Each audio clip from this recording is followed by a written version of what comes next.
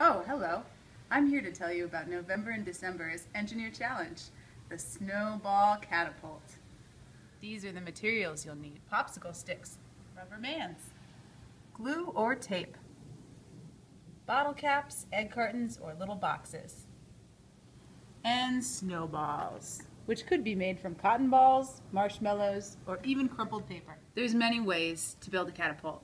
Basically, the parts that you need are some kind of frame or structure to support your catapult, um, some kind of launch arm, some kind of bucket to hold your snowball in, and then something that creates torsion like the rubber bands. So when you pull back, you have momentum. Feel free to research more ideas by searching the internet or checking out books. How far will your snowball fly?